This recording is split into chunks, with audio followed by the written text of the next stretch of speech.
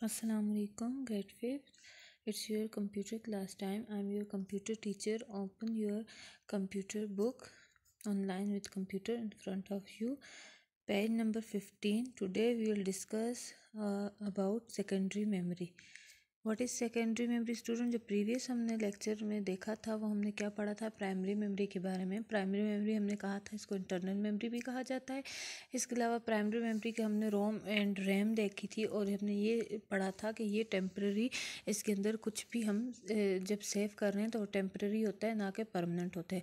अब secondary memory जो होती है, इसको ये एक्सटर्नल मेमोरी भी कहा जाता है और इसके अंदर जो डेटा स्टोर हो रहा होता है, वो परमानेंटली स्टोर हो रहा होता है।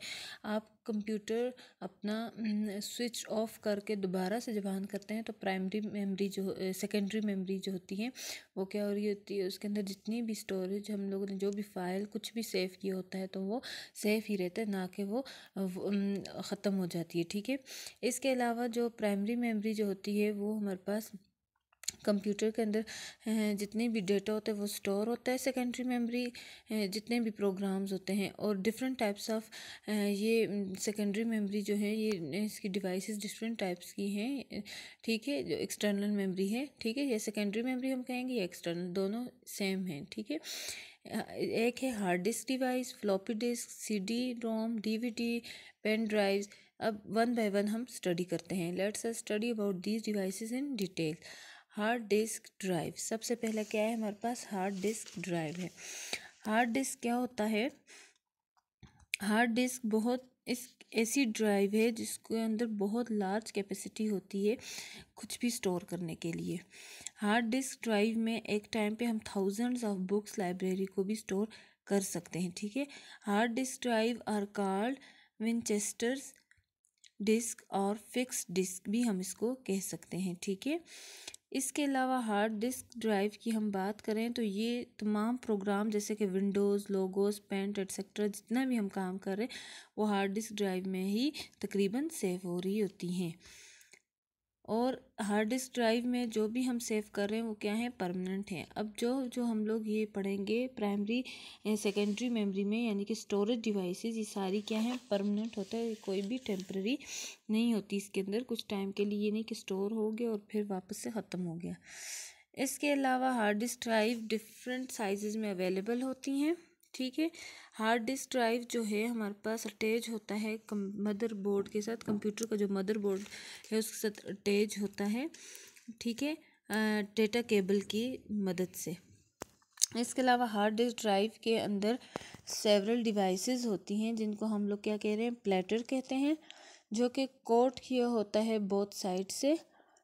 विद स्पेशल मैग्नेट से मटेरियल से कोट हुआ होता है और ये प्लेटर रोटेट हो रहा होता है हाई स्पीड के साथ, ठीक है?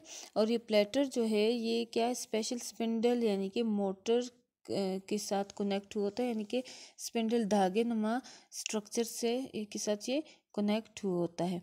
इसके अलावा हार्ड डिस्क ड्राइव के अंदर जो है, ये स्टोर करने की एबिलिटी है, ये तो बार बार हम देख रहे हैं इसी बात को। इसके अलावा हार्ड डिस्क ड्राइव जो है, वो क्या है? रीड एंड राइट क्या कर रहे? ऑपरेशन को हेड कर रहा होता है। और इसके अलावा हम देखें तो ये स्ट्रक्चर है हार्ड डिस्क ड्राइव की। ठीक है? इस टाइप का हार्ड डिस्क ड्राइव होता है डिफरेंट साइजेस में अवेलेबल होता है। और ये प्लेटर रोटेट कर रहा होता है। इसके साथ आप देख रहे होंगे कि स्पिंडल सा होगा है। और ये, जो प्लेटर है, ये क्या है? हमारे पास मैग्नेट से कोट हुआ होता है। इसके बाद हम देखते हैं एक और डिवाइस स्टोरेज डिवाइस एक सेकेंडरी मेमोरी की, क्या है? फ्लॉपी डिस्क है। ठीक है, अब फ्लॉपी डिस्क क्या है हमारे पास? हम देखते हैं फ्लॉपी डिस्क के अंदर भी डेटा स्टोर हो रहा होता है। ये भी एक ऐसी डिवाइस है जिसके अंदर डेटा स्टोर स्टोर हो रहा होता है, लेकिन स्मॉल अमाउंट में। अब हम लोग ने हार्ड डिस्क में पढ़ा कि thousands of books library at a time store हो रही होती हैं। लेकिन इसमें जो है इतने ज़्यादा नहीं कैपेसिटी होती बल्कि स्मॉल अमाउंट में डेटा स्टोर हो रहा होता है और ये फाइल्स की से, को सेफली स्टोर कर रहा होता है ठीक है?